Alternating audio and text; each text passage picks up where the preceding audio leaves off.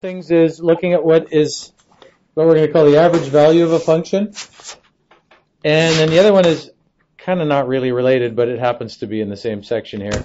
Uh, looking at absolute value of a function. That we've actually already seen before a little bit, but the, the more difficult one or the, the more involved thinking is required for the first one, average value of a function, which you know of as the average of something.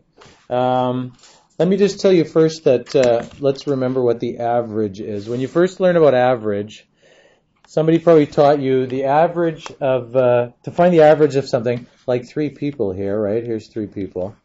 Somebody with a large head and uh, somebody else here. And uh, I don't know. Three people. Do you want to give them names? No, this is going to lead to a distraction. This is Joe. This is Bob, and this is what we need. We need some hair on this person here. Okay. There's her hair. I'm guessing it's going to be a girl too. Name it Jim. A girl named Jim. Billy. Billy. Billy.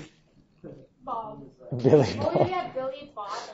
Okay, it's a it's a girl named Billy. Fine. Okay, it's a girl named Billy. Fine. Wonderful. Uh, when you first learn to, uh, we actually need one other person here because it's easier. No, it's fine. Three is fine. If you uh, if you're working out the average of something, you learn in grade six or seven or wherever it is. If you ask a grade six or seven, they say, "Oh, I know what the average is." It's when you add everything together and divide by how many there are, right? So if if this person has in their pockets ten dollars, and this person has uh, what I don't know, uh, eight dollars, and this person has uh, three dollars.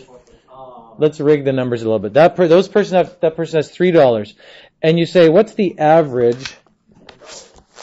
The average is seven dollars, right? Now, so the grade six would just say 10 plus 8 plus 3, work that all out and divide it by 3, right? Because there's three people, so they'd say it's 21 divided by 3, which is $7. If you think about it kind of uh, concretely, what you could tell the person is the average is like if you collected it all, took all the money, right? And then you redistributed it equally, right? If you took all this money, took it over here, piled it all together, and then took it and redistributed it equally to everybody, each person gets seven. That's what the average is, right? When you talk about an average, you're really talking about the arithmetic average. You're saying if we equalized everything, that's what an average is, right? If you ask what your average is in a course, you might have got 80% on this test, and then 60% on that test, and 70% on this test, and 90% on this test. And you say, what's my average? And you say, oh, my average is, uh, what is it there, 75%? That's saying if you lumped all that together and made them all the same, having these four marks is like having four marks the same like that, right? Having four 75s. That's all an average is. It's taking it and equalizing it. Now you might think, what does that have to do with this? We're talking about what's the average value of a function, right? Now, marks on a test or people with, you know, money or whatever, it's sort of a function, I guess. If we if you look at if you looked at marks on a test and here was your marks, right? Here's your four tests. One, two, four. That's great. One, two, three, four. I think I can count. Let's even get crazy and use actual straight lines like this. Um, if you were trying to plot your marks on the test and you said uh, the first one's 80 and the next one is 60 and then this one is 90 and this one is 70. Um, you could even do it like a bar graph, right, if you really wanted to. And there's your four bars, right? If this was 60 and this was 80 and then there's 70 and there's 90. So you have your four bars in the bar graph. Basically what finding the average is, is taking that and equaling it out so they're all the same. Saying that the average is right here at uh, 75, it's as though you equalized all of that, right? It's as though you said, whether it's people with money or marks on a test, it's like saying the ones that are higher, some of that is going to go to equalizing this, right? And the one that's a bit higher, it's going to go to equalizing this. Just like when the people had uh, $10, $8, and $3, well, it's like three of these dollars go to this person and one of these dollars go to this person, right? So that then this person has 7, this person has 7, this person has 7. If you drew a graph of that, it'd be the same thing. $10, $8, $3, and the average is here at 7, right? That money goes to this person, that money goes to that person, right? So it's it's it's the same concept no matter what situation you're looking at. Finding the average is like equalizing the, the sum or the total, right? If you wanted to write a, a formula for this, it's like uh, the sum of all of the data values, right? Um, if you're using x to mean the mark you got on a test, like x1, x2, x3, and x4, let's say if those are the values, uh, like if those are the actual marks on each of your tests, right? This mark here is x1, this is x2. So you have you have uh, four marks, right? x3 and x4. Basically, the the average is, or if you want to say x average, the average is the sum of all those divided by how many there are, number of them, right? Now, what it has to do with this is we want to talk about what the average value of a function is, or the mean value of a function. Okay, we want to work out what the average value is. The problem here is it's not four distinct discrete values like this, or three discrete values. It's, it's a continuous thing, right? If I took this graph now and said, okay, let's, let's pretend the average is in there, and instead of this, instead of those four bars, let's say those were points on a on a curve that went like this, right? And I know for marks in a course, it's not going to be like your mark isn't calculated instantaneously. But if it was that, you could still talk about what's the average value of that function. Let's say you had another function that went through all those points, but it went like this. And it went way down here, and then it went like that, and it went up, oops, it went up there, and then it touched that and went down there. Which one, that's pretty badly drawn, but which one of those two curves is going to have the higher average value? Which one? Is the is the green is the average of the green going to be higher, lower, the same as the red one? The, let me point out that the green one is below the red one the entire time, right? So it's gonna it's so the green one's gonna have a lower average value somewhere in here, right? Let's make it simpler. Let's make two curves those same colors. But let's say you had a function that looked like this and ended there. And let's say you had a function that started and ended in the same time there. Which one of those has the higher average value? The red one definitely has a higher average value. If this gets up to this, like think about if those were the speed of a vehicle, right? And this is kilometers an hour on the side. The red one gets up to like 85 uh, kilometers an hour right away and then travels at 85 kilometers an hour for a long time. Its average speed might be, is its average speed going to be 85 kilometers an hour? No, because it went slower at the beginning, right? So it might be like 80 or 75 or something like that. But the green one, this guy takes forever to get going. He's going uh, 20 kilometers an hour for a really long time, but then at the very end he ramps up to 85. What's his average speed going to be? He was going 20 most of the time, so his average speed might be 25 or something like that. We want to look at what the average of a function is. The average value of a function is going to have to do with how high, where it is, but we're going to use the integral to figure it out. Okay? Let me, I, I know those graphs are great, but I want to show you this function. Okay? What I want to know now is, for that particular function there, what's the average value? So from here, from this blue to this blue, okay, from 2 to 8, across that interval there, so let's ignore the part before and the part after, but I'm saying, what do you think the average value is? I'm gonna I'm gonna move this until what you think until you think it's sitting at the average value. Is the average uh, is the average five just because that's halfway between, or something like that? Is that going to happen halfway in between? Is that going to be the average value? Do you just go halfway in between two and eight? Not necessarily, right? You think it's favorite? You think it's more to this side? It, the average is not going to be like seven point it's not going to be that high, right? Because it drops down and it's low for quite a while, but it's not down here. The average is not like 2.5, right? It's it's probably in here somewhere, right? Somewhere in there.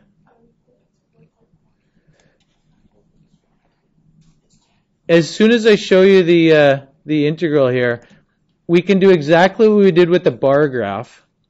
What did we do with the bar graph when it was four discrete bars? How do we how, visually how do we figure out the average when it was four discrete bars? We took the ones that were too high and what do we do with them? Kind of distributed to the lower part, right? To find the av- the average value of this function, basically is going to be saying take the integral and spread it evenly across this. So like if, if that was kind of a glass with sand in it and you shook it and leveled it out, it's going to look something like that, right? When I show you those two things, it's, it's a lot easier to tell where the average value is going to be. That value is way too low because look at all this area. That definitely doesn't balance out that little part that's lower, right? Whereas this, this average value up here, this part above certainly doesn't balance out that pink part over there. But somewhere in the middle is a spot where those two things balance out, right? Do you think, where do you think it is? Somewhere, somewhere in there? Any, when we go higher or lower, somewhere in there? That? A little lower? Put there somewhere, 4.51 maybe. I mean, we obviously we're just doing it by guessing, but you can use the integral to find the average value. Basically, you're equalizing it all across the entire thing. All the heights of the function are different all the way across, but it's like you're saying, what if I equalized all the heights all the way across and just made this constant function? That's the average value. So if I show you what the average value is, there's the average value. Okay? This uh, might be a little misleading here, right? Um, the average value is it's saying it's, whoa, in there somewhere. 3.83? That seems pretty low. What's going on here?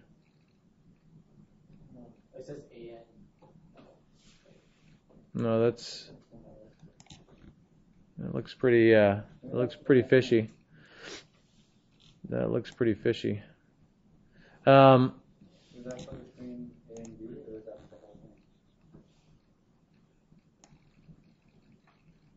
I think something's wrong with this calculation actually. But on this thing, I have to check that. I don't think that's right because I think I mean that uh, somewhere in here where we had it, the rectangle and the the integral are equal, right? These areas down here.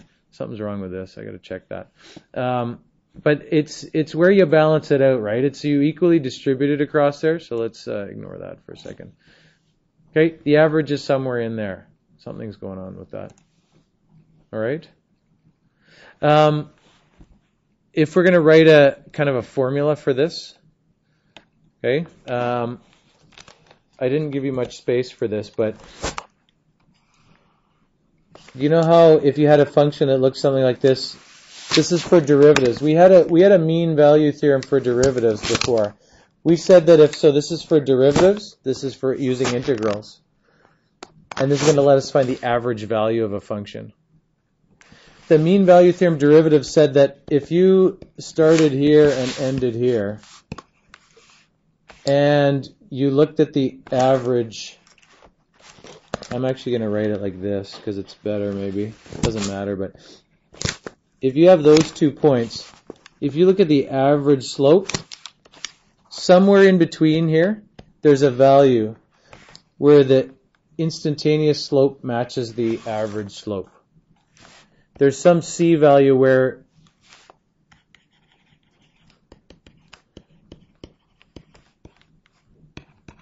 Okay, there's some C value where the derivative equals average slope.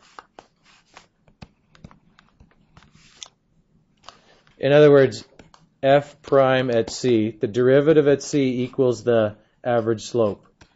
f of b minus f of a over b minus a. That we've had before, right? instantaneous slope equals average slope. So that was true. Let's uh, change that so it's not so hard to follow. Okay, we're going to have the similar thing here. If you have some curve, the way we just had a curve, we'll draw one like that.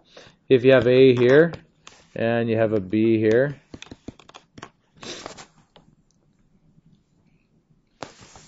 somewhere in between here, somewhere here is the average value of that thing. If this is a continuous function, the way this had to be over here, if this was continuous, somewhere in between here is the average value, average height of that function. And the way you know is if you have that, if you look at that rectangle, right? Somewhere in there, the integral equals that rectangle. Okay, there's some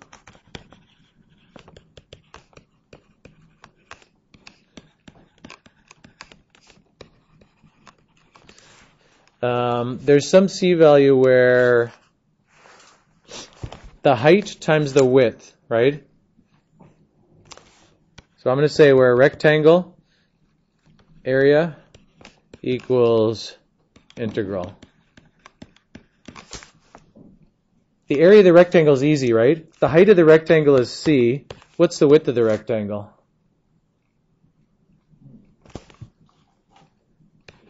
Yeah, just a to b, b minus a, right? Actually, it's not c. What is it? It's not the height isn't c. What is it? If this is f of x, it's it's f of x, f of c, right? Sorry. So it's where f of c times that, right? These two things multiplied. The height times the width, right? And I should maybe even put that in. Height, and we'll even say average height. Average height times width. That's the area of that rectangle. There's some c value in there. The average height is in there somewhere where where it's equal to that that integral. The integral is just integral from a to b of f of x dx. Okay? Does that make sense? This is just saying the height of that thing times the width of this. Okay, height times width of that rectangle, or in other words, the area of that rectangle. And then, so that's equal to this area here, right? It's, if you're taking that area and redistributing it, right? You're taking all that area and redistributing it so that it's, so that it's all flattened out. Again, it's like if you have sand in a glass, um, if you have sand in, in a glass that sort of is like that, and then you shake the glass and it kind of all levels out. It's got, whatever level it comes to is like the average height of the thing. Right? Whatever, wherever it ends up. Right? Now, how does that help us? Um, you can rearrange this formula,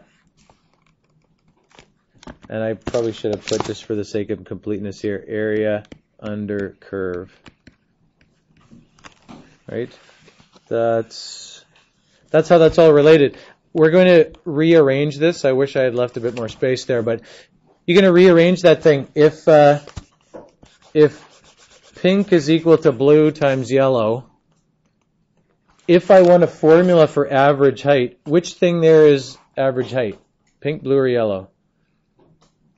Which one's the average height? The yellow, right?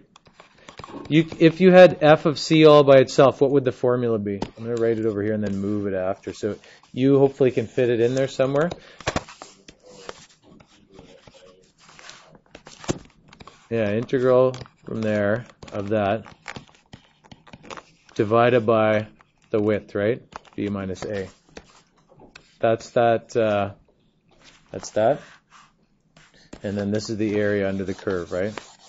Okay, I erased it up there, the sh- shading in pink, but that's the area under the curve. It makes sense that if you take the area under the curve and divide it equally amongst the width of the interval, it gives you the height that you'd need, right?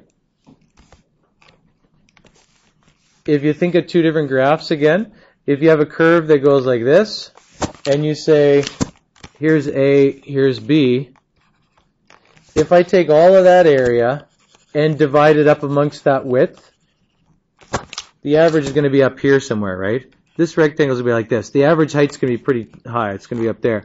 Whereas if you have another curve that goes like this, and you uh, you do exactly the same thing, right? Here's uh, here's A, here's B, and you divide that up, right? That's not nearly as much area, right? Not nearly as much area here underneath, right? Not that much area. So the average height's going to be down here somewhere, right? This is going to be a lot lower, right? That average height's only there. The more area that's underneath, the higher the average height is. Okay? This is the average height formula. Average value of a function or average height. Okay? You could put a note there. Average value of the function.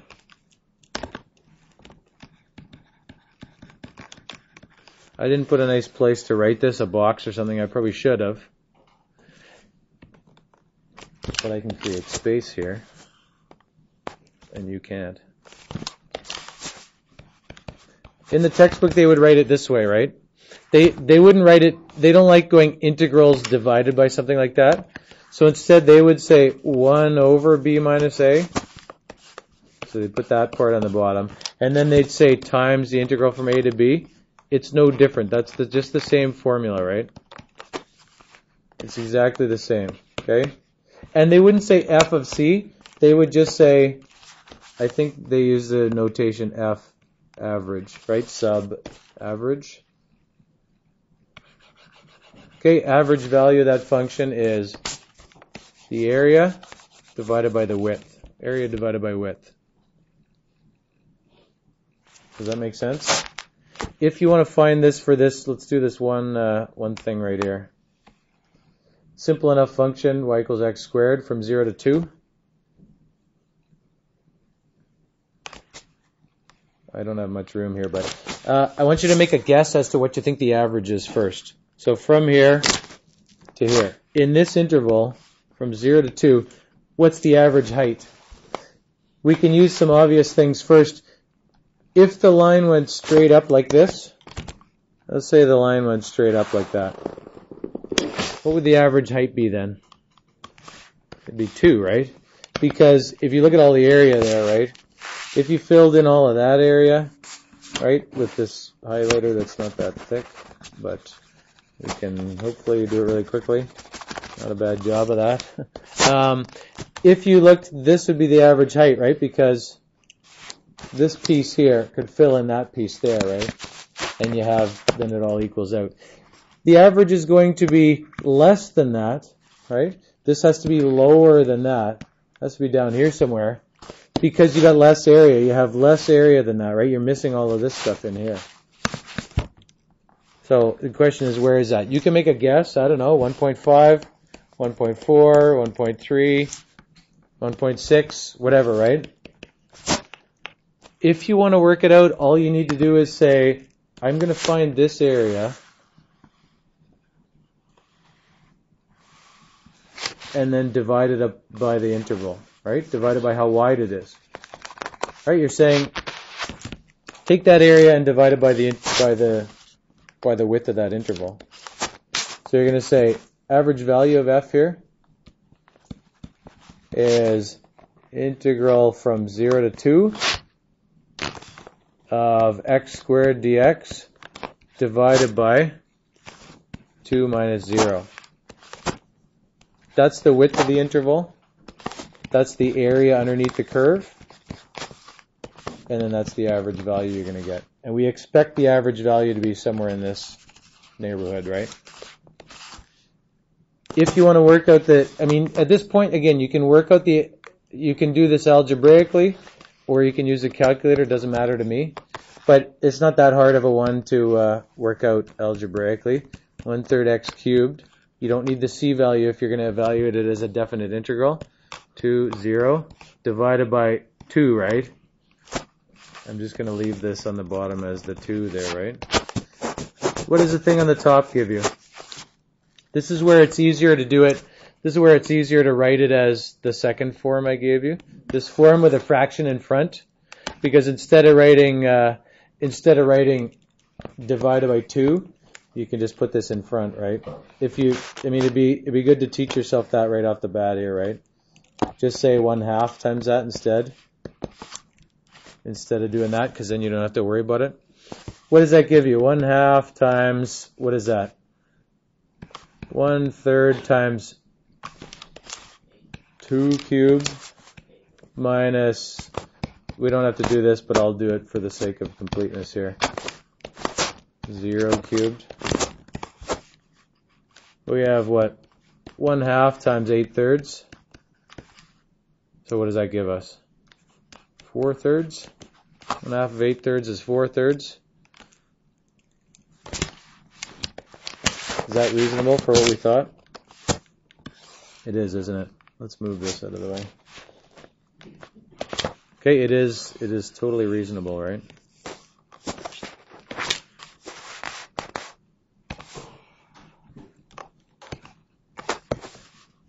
Okay, 1.3.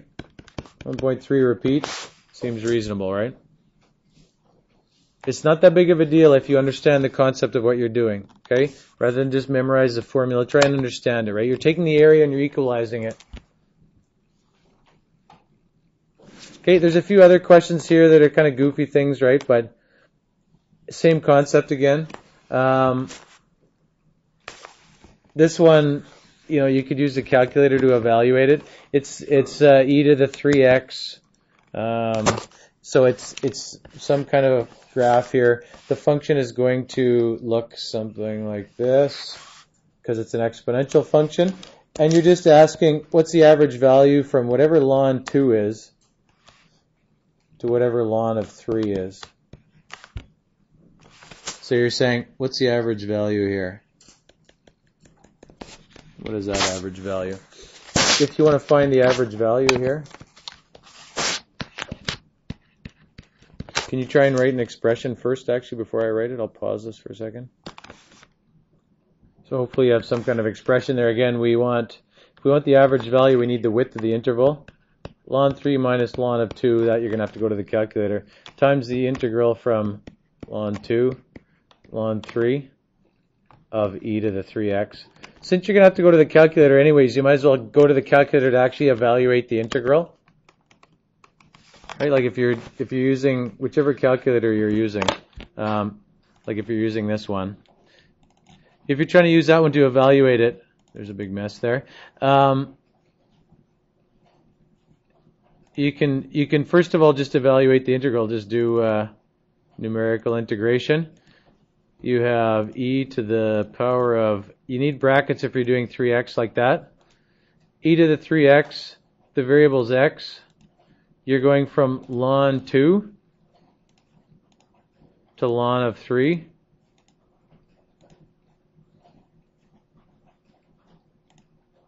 And it might take a little while and give you that. And then you need to divide that by the, the width of the interval, right? And we need, so we need ln 3 minus ln of 2. Don't leave out any brackets or anything. So that should give you what it is, right?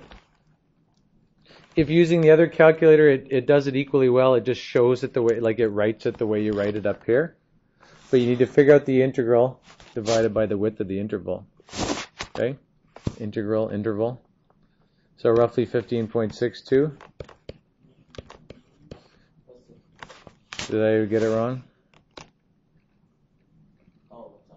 So it's yeah, I mean it's 6.3 repeat divided by that other thing.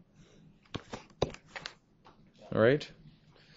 Does that make sense? Hopefully, average value of a function. I hope there's some goofy questions here, but these are kind of silly questions. Let this be a continuous function between zero and two. Um, all it's saying is if there's zero and there's two, if the function is always between 2 and 4, this is saying if the function always goes between 2 and 4, so whatever it looks like, we don't know. If it always stays between 2 and 4, what's the greatest this could possibly be? What's the highest that could be? What's the highest that area could be? This doesn't even directly relate anyways, right? What's the highest the integral could be? Well, it could be if, if the function went straight across at 4, then the highest the integral could be would be 8, right? That would be 8. Right? The highest it could be is 8.